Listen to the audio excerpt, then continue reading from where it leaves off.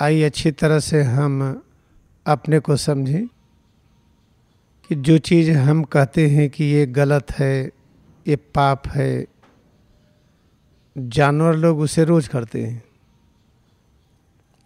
लेकिन उनको क्या पाप लगता है? बड़ी मछली, छोटी मछली को खा गई, सांप मेढक को खा गया, सांप अपने बच्चे को खा गया, ऐसे अनेक तरह की चीज़ें जिसे हम पाप कहते हैं, सिन कहते हैं, ये जानवर लोग किया करते हैं।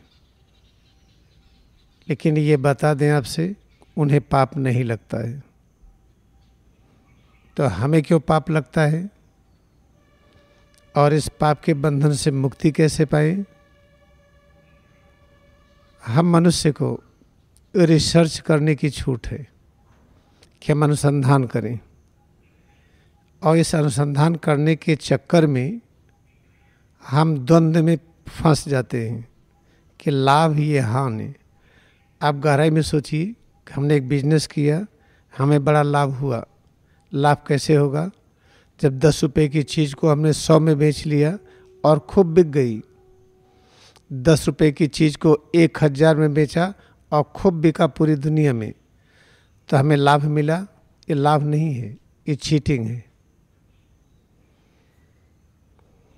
और हमें घाटा हुआ किसी चीज़ में, वो घाटा नहीं है। मिस मैनेजमेंट है। अव्यवस्थित कार्यक्रम है। तो हम मानो, पाप पुण्य लाभहान, सुख दुख अच्छा बुरा, इस द्वंद्व के जाल में फंस जाते हैं। इसलिए जब हम गलती करते हैं तो हमें पाप लगता है। जानवर वही गलती करे, पाप नहीं लगता। क्योंकि उन्हें रिसर्च करने की स्वतंत्रता नहीं है। तो पाप लगने की इस झंझट से, इस महामारी से कैसे बचें हम? तो इससे अच्छा था कि हम जानवर रहे होते, कि पाप पुण्य का चक्कर होता ही नहीं।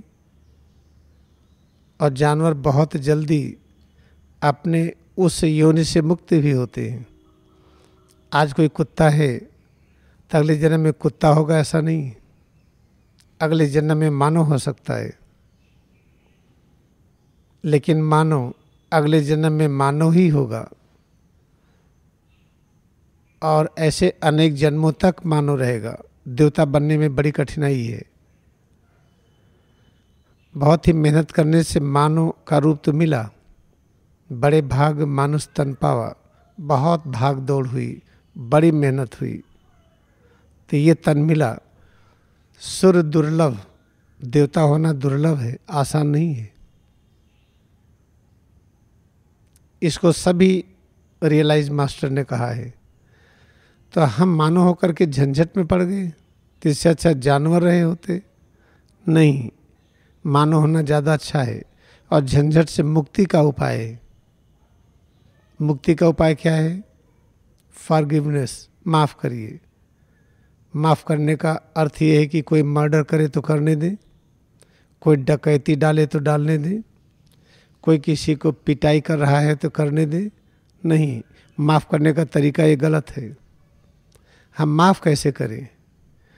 एक नियम बन जाए कि जो व्यक्ति पूरे लगन से, भक्ति से क्रिया योग का ध्यान करता है, सुबह और शाम व्यवस्थित तरीके से करता है। बाकी दिन भर काम करे या आराम करे, लेकिन क्रिया योग ध्यान से जुड़ने का प्रयत्न करता रहे।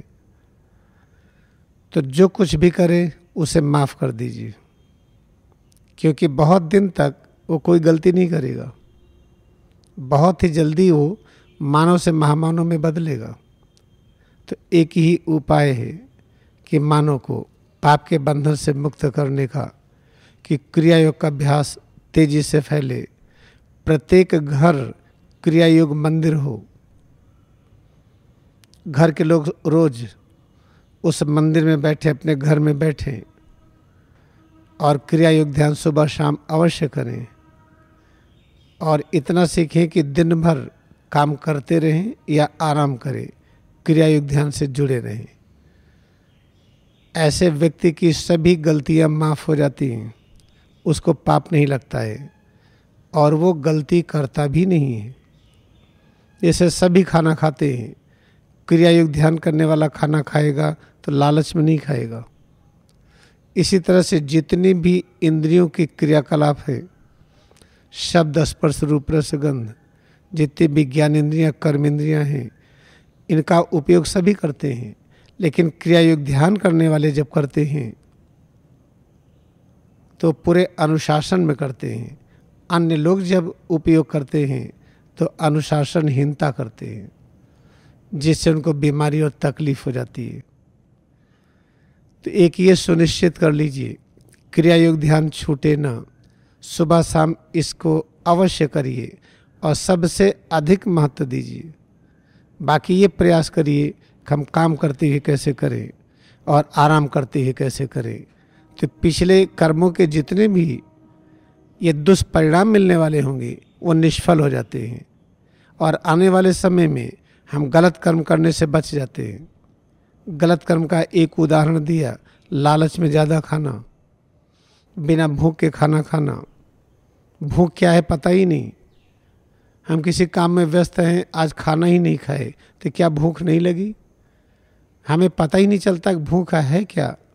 खाना देखे, महाकाई, खाने का रंग देखी, आकार देखे, लार निकलने लगी, भूख जग गई। वो भूख नहीं है, वो लालच है। वो संग से, खान, खाद्य पदार्थ के संग से भूख जगी है। तो खाना खाने के नियम जानिए कि एक बार हम इतना खाना खाएँ कि ओवर ईटिंग ना हो, हल्का खाएँ, फिर जब सात आठ घंटे हो जाएँ तो हम फिर खाएँ। इस तरह से आठ दस घंटे के अंतराल पर हम खाना खाएँ। और आज भूख नहीं, खाना नहीं खाएँगे, ये गलत सिद्धांत है। ये आज बार बार भूख लग रही है, हम दो दो घंटे पर खाएँगे, ये भी गलत है। तो जब हम क्रिया योग करते हैं, इस तरह की गलतियाँ खत्म हो जाती हैं। ऐसे पति पत्नी के बीच का संबंध एकदम वही हो, होना चाहिए। जब क्रियायोग करते हैं तो वैसे ही होगा। कोई भी स्त्री पुरुष कैसे साथ रहे बच्चे और बड़े कैसे रहे पड़ोस कैसे रहे क्रियायोग ध्यान करने से सब अपने आप व्यवस्थित हो जाता है। तो याद रखिए बड़ा सरल है।